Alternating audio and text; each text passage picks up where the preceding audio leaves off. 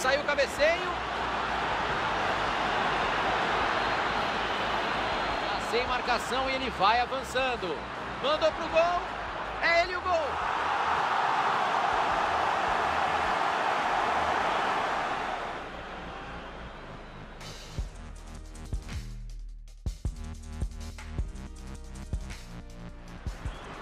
Pode ser agora.